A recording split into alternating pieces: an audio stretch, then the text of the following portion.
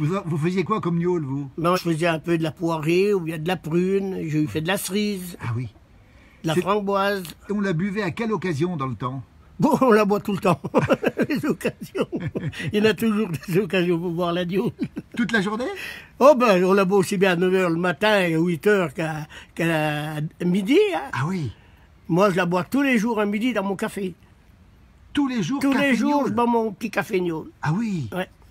Et alors, c'est peut-être pour ça qu'à 89 ans, vous êtes en bonne forme J'en sais rien. On a entendu dire que c'était un médicament, nous. Ouais, ouais. Qui disent, mais enfin, il faut pas en abuser. Hein. Oui Mais de temps en temps, un petit coup, là. euh, J'ai un copain qui vient le dimanche matin, il m'apporte le pain du journal. À 8 heures, on boit une petite gnôle. Une petite gnôle. Voilà. Ah oui. Donc tous les jours de votre vie, vous, vous buvez de la gnôle? Ah, mais tous les- il y a longtemps, longtemps que je bois tous les jours à midi ma gnôle dans le café. Ah oui, d'accord. Voilà.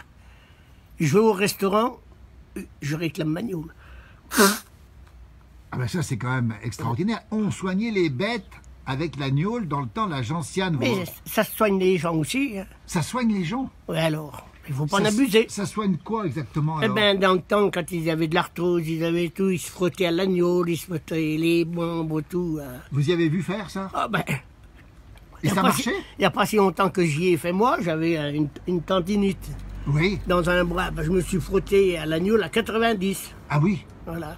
Et ça s'est passé? Oui, ça, ça va mieux. Et pour digérer? Ben, pour digérer aussi, une petite gnôle, ça fait pas du mal.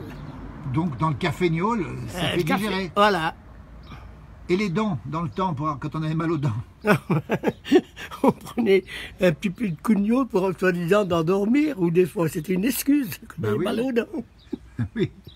Et aujourd'hui, aujourd'hui, on nous dit de ne pas en consommer. Oh ouais, aujourd'hui, si on écoute tout ce qu'ils disent, ben, on n'a plus qu'à aller au cimetière. Ah, carrément. Carrément. Ça veut dire que la sagesse, Alexandre, à 89 ans, la sagesse a disparu alors? Ah ouais, ouais, oui, ça maintenant, il- on n'a plus le droit de rien faire. alors. Et ça, ça vous ennuie, ça? Ah ben, beaucoup, ça ennuie beaucoup de monde. Attention la tête.